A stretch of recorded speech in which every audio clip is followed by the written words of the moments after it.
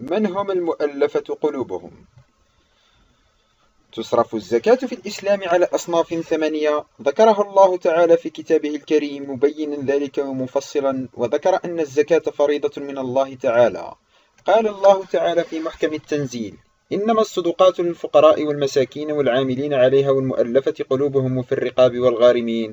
وفي سبيل الله وابن السبيل فريضة من الله والله عليم حكيم.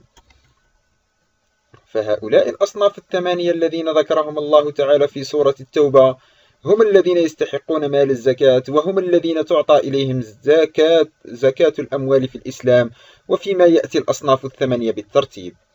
الفقراء والمساكين فالفقراء هم شديدو الحاجة والمساكين هم الأهون حالا من الفقراء.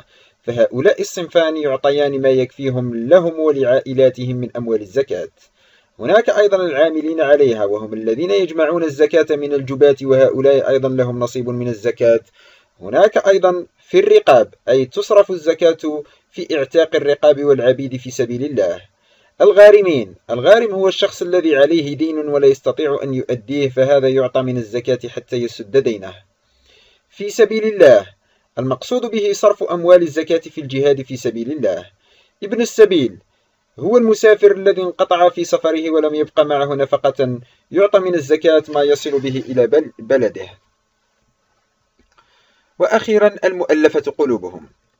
المؤلفة قلوبهم هم أحد الأصناف الثمانية الذي ذكرهم الله تعالى في كتابه الكريم وهم الذين تدفع لهم الزكاة الأموال في الإسلام. قال الله تعالى إنما الصدقات للفقراء والمساكين والعاملين عليها والمؤلفة قلوبهم وفي الرقاب والغارمين وفي سبيل الله وابن السبيل فريدة من الله والله عليم حكيم. ويمكن تعريف مصطلح المؤلفة قلوبهم على أنهم الرجال الذين دخلوا في الإسلام دون أن يثبت الإسلام في قلوبهم ونفوسهم أي أسلموا ولكن إسلامهم ما زال هشا ضعيفا. وهم أصحاب تأثير ونفوذ في أقوامهم فيعطون من أموال الزكاة حتى يتم استمالتهم وتثبيتهم على الإسلام. وقد أعطى رسول الله صلى الله عليه وسلم المؤلفة قلوبهم من مال الزكاة لمكانتهم التي كانت لهم.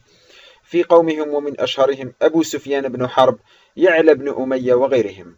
وأعطى أبو بكر الصديق أيضا المؤلفة قلوبهم كما فعل رسول الله صلى الله عليه وسلم. أما أما سيدنا عمر رضي الله عنه فإنه رفض أن يعطي المؤلفة قلوبهم من مال الزكاة بعد أن أصبح الإسلام قويا ومتمكنا.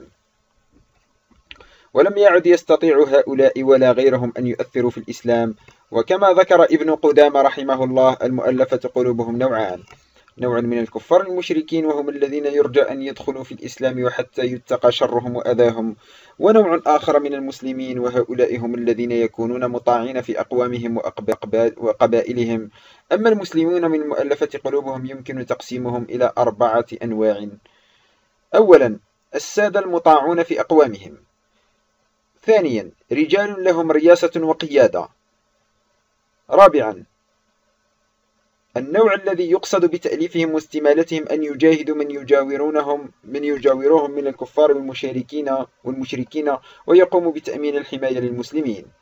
ورابع نوع هو نوع من المسلمين المؤلفة قلوبهم والمراد من إعطائهم الزكاة أن يقوموا بجباية الزكاة ممن لا يقوم بتأديتها.